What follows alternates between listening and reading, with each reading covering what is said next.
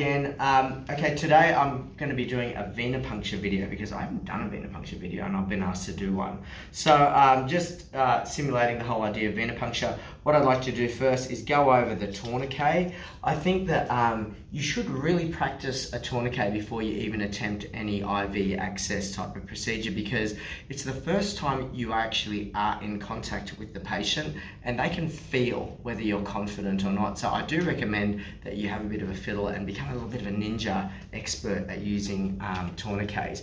I don't mind putting the tourniquet on for quite a while and giving that sort of arterial blood a chance to convert to venous blood and help me engorge the vein.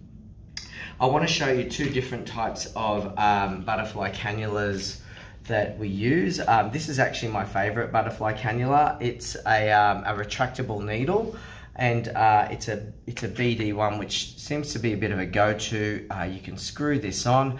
The thing I don't like about this, depending on how you hold your butterfly cannulas, like I hold mine with the wings, but if you hold yours there, you've just got to be really mindful that there's actually a button there that uh, will actually cause the needle to, to eject back in and you can't use it again. So there is a syndrome for this and um, can you remind me what it's called yeah, again? Yeah, premature retraculation. Correct. So we don't want premature retraculation. It's a very embarrassing thing that can happen to anybody. So what I'm going to do now is I'm just going to um, swab the vein and I'm going to go in. I've actually got my barrel all ready to go and I'm going to just give a little bit of a stab and you can see a little bit of blood going in. So my technique that I use, I'll hold the butterfly wings down and I can also hold the patient if they're flinching or whatever and if they're non-compliant, um, I can actually just help that needle stay exactly where it is and then we can just get some blood sample out into your vacutainer, which is a really good system.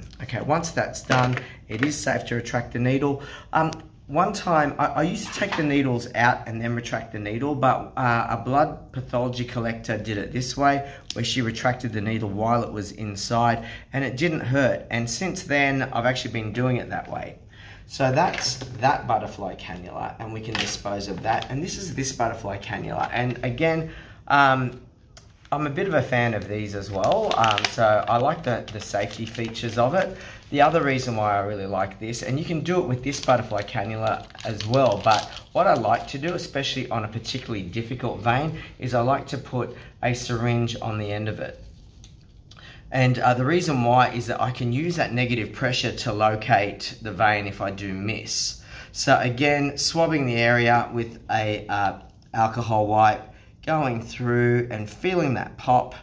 And then what I can do now is I can still stabilize this and then I can aspirate the syringe to get my blood sample. Once that's done, same sort of thing. You can take the needle out and then you just pull that yellow cap up and now that needle is quite safe and um, very important part of the procedure obviously is to let the tourniquet go put a nice dressing on the patient send your blood sample off to pathology but what we are looking at is that we're looking at your disposal of your sharps whether it's for an OSCE or whether you're just in the hospital and the infection control people or your clinical supervisor watching you, you just have to make sure that you don't reach into your injection trays and dispose of your sharps correctly. So it is about safety and about accuracy and about really, really knowing your equipment. So thanks for watching and I'll catch you next time.